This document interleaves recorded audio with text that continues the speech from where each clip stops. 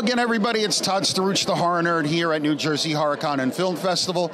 It is the last day of the convention, but I got to say, this place is jumping. There's a lot of people here to see the celebrity guests. We have a great Revenge of the Nerds reunion happening this weekend.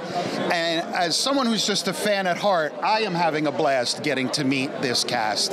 It has been so cool, and it's about to get cooler because I get to sit here with Andrew Cassese. Andrew, how are you? I'm doing great. How you doing? I am great. Yeah, yeah, this has been a fantastic time. Yeah, I mean, and I wasn't kidding. Like I tell everybody, I'm just a fan who happens to get to do some cool stuff, and uh, this is a big deal, you know, because I grew up with these movies, and now my daughter is watching them, and she's watching all the movies nice, I watched yes. that I grew up Definitely with. appreciate So- you know indoctrinating the new generation of nerds.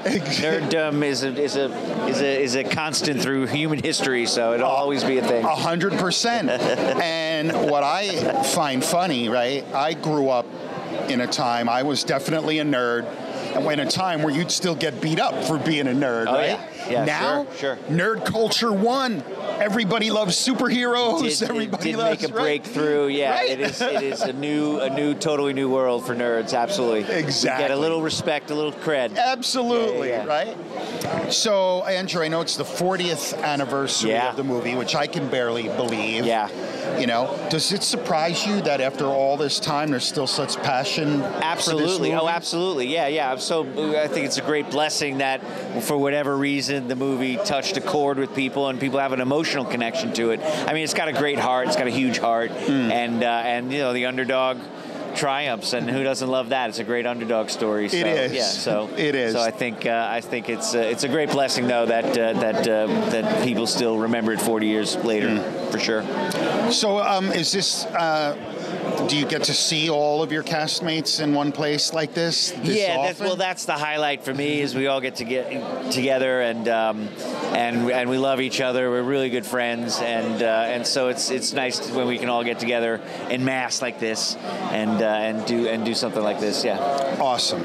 So, I'm going to ask you the same question I've been asking everybody because the answers have been funny and fascinating. Oh.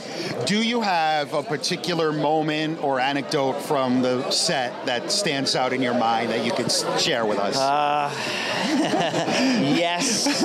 I don't know that I can share with you necessarily.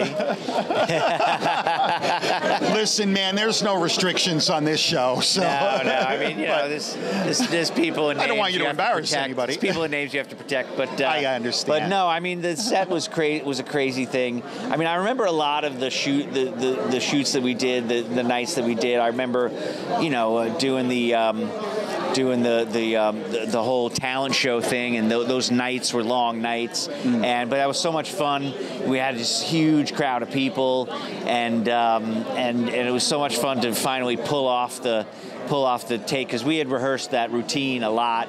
Um, you know, we were doing it, eh, you know, at the hotel in a little sort of side room. We would rehearse that whole thing, and um, and that was a lot of fun to finally pull that off. And it really it, it really turned out great in the movie. So so I, I you know that was very memorable. But I mean that's just one of many things that were just incredibly fun. And I, I have a lot of memories of the of, of that uh, of that shoot. So you know some some more exciting than others. Like I got into flying kites for a little while. Like for a couple weeks there, I was like I would go into the courtyard of the of the hotel and and I was like getting pretty good at it and getting into all like what the different ones were. And that hobby kind of died after I after that. But you know so that's not uh, as exciting an anecdote maybe. But uh, but It's I just have a lot though. of I've never heard yeah, someone I have a lot of before, memories you know? of that.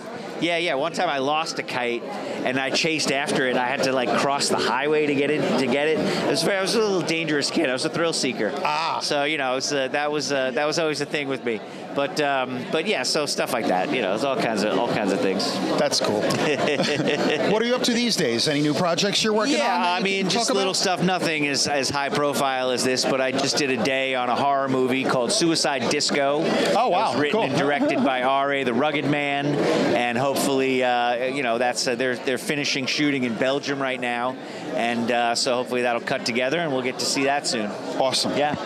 One last question, and I love asking it because I'm always fascinated by the answer. If there's one piece of advice you could give to, say, a, a young up and coming actor or actress coming up in the business, what piece of advice would you give them? I mean, you know, it's it's. I don't know what advice I could give them because everything is so different now than when I was coming up and when I was a kid. But you know, it takes three three things to to, to make it. I guess you got to be good. Um, um, and you know, which a lot of people are, and you got to work really hard at it. You got to be persistent, and then you got to get a little lucky. And you know, I think I think nerds was definitely a lucky thing uh, for me. Um, it was, like I said, it was a great blessing to have been a part of it, and so uh, so that's what it takes, I guess, is those three things. So just as long as you can, as long as you are good and you work hard, maybe you get your break eventually, and you just got to stay in it because it can be it can be tough. So so 100%. stay in it. Don't give up. Good stuff. Yeah. Andrew, thank you so much for a few minutes of your time. Yeah, yeah, my pleasure. I meant nice it when I you. said this is a thrill for me to get to meet everybody and ask a few questions. Oh yeah, well it's a thrill for it's me awesome. too. Yeah, yeah, you bet. Thank you so much. Have a great rest of the weekend. I wish you much success you. in all your future endeavors. Take it easy. Nice. Andrew Cassese, everybody here at New Jersey HorrorCon and Film Festival. This is Todd Strouch, the Horror Nerd, signing off. We'll see all of you in the next interview.